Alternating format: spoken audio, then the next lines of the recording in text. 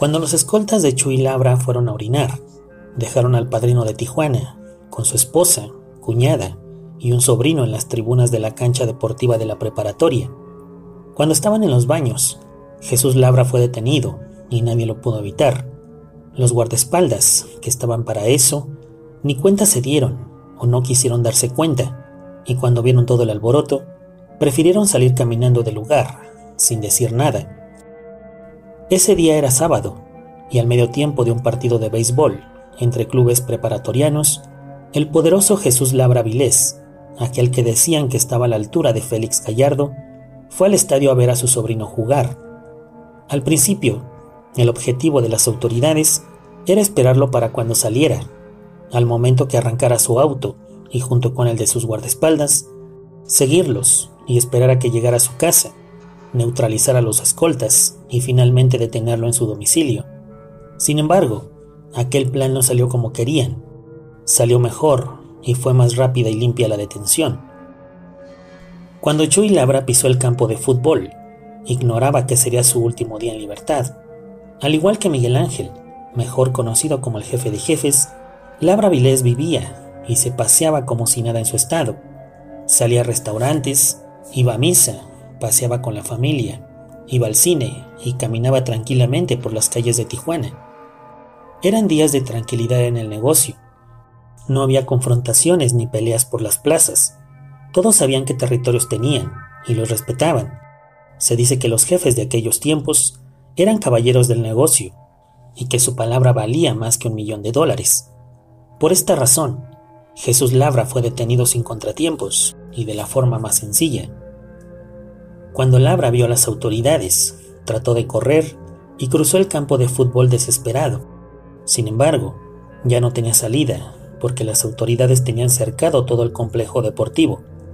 Al toparse de frente con varios judiciales bien equipados, a Don Chuy, como también se le conocía, le ordenaron que se entregara. Ese momento fue inmortalizado en una foto que dio la vuelta al mundo. Se ve a Jesús Labra hincado, asustado y con los brazos en lo alto.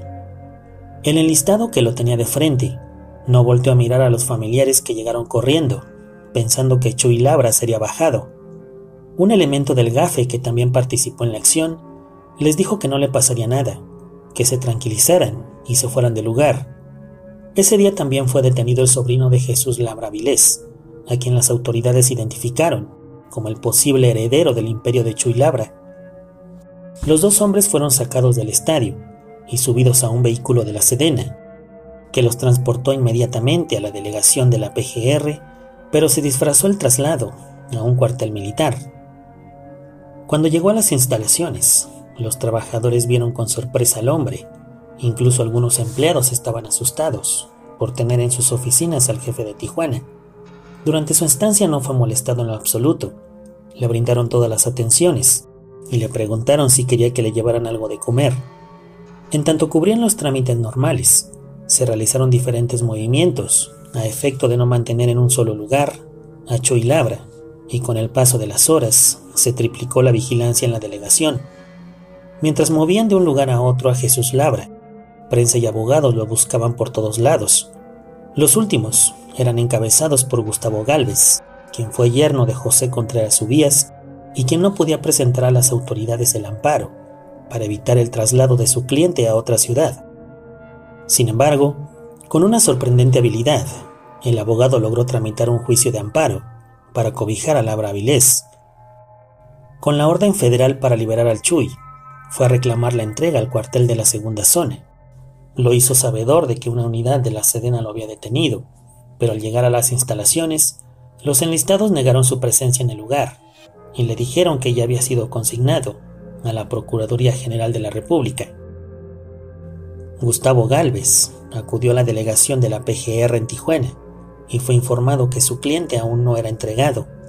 Momentos después, yendo de un lado para otro, se enteró que un convoy de la Sedena, que no había participado en la acción de la captura, trasladaba a Jesús Labra Vilés a la base aérea el vehículo que llevaba el mandamás de Tijuana cruzó rápidamente las antiguas pistas y se dirigió a las paralelas del aeropuerto civil a Belardo L. Rodríguez, donde ya lo esperaba un avión de la PGR. El abogado sabía que era muy sencillo poner en libertad al Chuy, siempre y cuando pudiera entregar el amparo. En ese momento por lo único que se le acusaba era por portación de equipo sin permiso oficial, y si hubiera tenido la oportunidad de mostrar el amparo, era obligada a su libertad bajo fianza, pero las autoridades no se lo permitieron. Por esta razón, Gustavo Galvez viajó al entonces Distrito Federal en el primer avión que encontró. Ya en la Fiscalía Especial y en la unidad especializada, el abogado no logró tener respuesta, a tal punto que ni las puertas le abrieron. El litigante fue entrevistado por la televisión frente a la PGR, explicó el inconveniente y reclamó legalidad en el proceso, pero a esas alturas, el Ministerio Público Federal estaba acumulando cargos contra Jesús Labra Vilés. Las autoridades sabían que con dichos cargos, Chuy Labra no saldría jamás de cautiverio. De esta forma, fue como el jefe de Tijuana ingresó al centro de reclusión de La Palma. Al tercer día de los hechos, el 14 de marzo del año 2000, el licenciado Gustavo Galvez fue encontrado en una colonia del Distrito Federal. Su baja no fue investigada y su caso quedó en el olvido. Las hipótesis sobre lo ocurrido con el abogado de Chuy Labra fueron muchas. Sin embargo, una versión fue la que sonó más y nunca fue desmentida. Ramón Arellano había ordenado bajar al abogado por haber fallado en el intento de liberarlo en Tijuana, cuando era más fácil. La segunda parte de esta misma versión decía que Ramón vio en esta detención la oportunidad de encumbrar a su familia, sin personajes que les hicieran sombra y que tuvieran injerencia en las decisiones importantes de la organización. Para entender la vida recia de Ramón Arellano, es necesario relatar algunos hechos contados por la misma gente de los Arellano Félix en esa época. Ramón Arellano se la pasaba de fiesta. Los fines de semana se le podía ver en las discotecas más famosas de Tijuana. En una ocasión andaba de parranda. Ramón vio discutir a una persona con los hijos de Contreras Subías. Arellano subió a su coche y esperó que terminara la discusión. Se bajó del deportivo, llamó al hombre que encaró a los Contreras y sin mediar palabra lo bajó. Ramón se dio la media vuelta y tranquilamente encendió su automóvil y se fue del lugar. El infortunado pertenecía a una familia pudiente de Tijuana. En ese mismo año, Ramón Arellano fue a la casa de su amigo, Valdés Mainero. Ese día, iban a escuchar un concierto que se llevaba a cabo en el hipódromo Aguacaliente.